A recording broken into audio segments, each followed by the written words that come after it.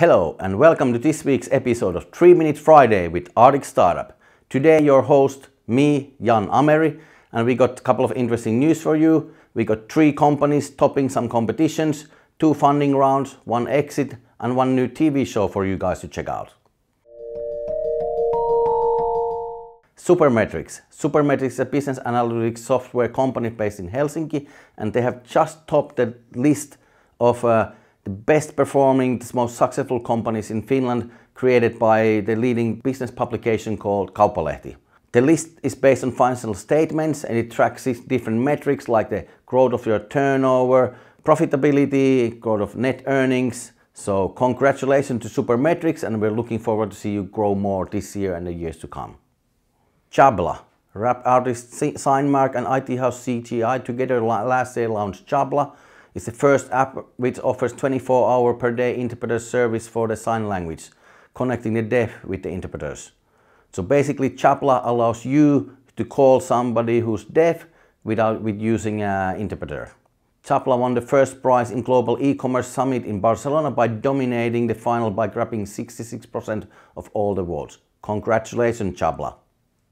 Moni. The Finnish fintech startup Moni took home the award from the 2017 Pay Awards in Barcelona.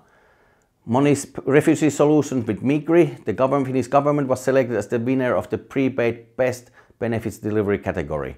Congratulations Moni and we're looking forward to hearing more news from you because allegedly you're raising a big A round.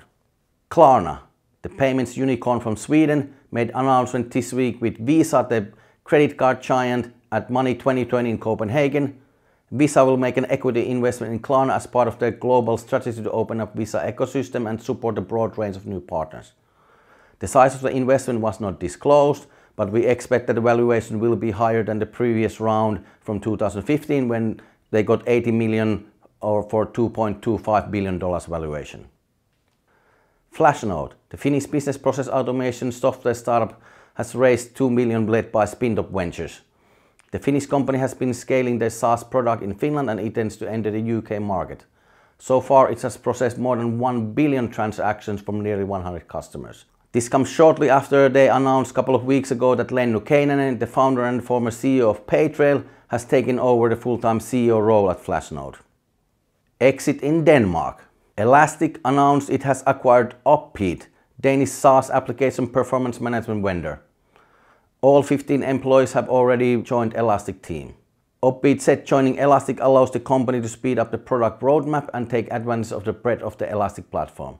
The valuation was not disclosed, but we know that the Opbeat has raised $2.8 million since their birth in 2013. Last but not least, have you already seen the brand new TV show produced by Apple called The Planet of the Apps?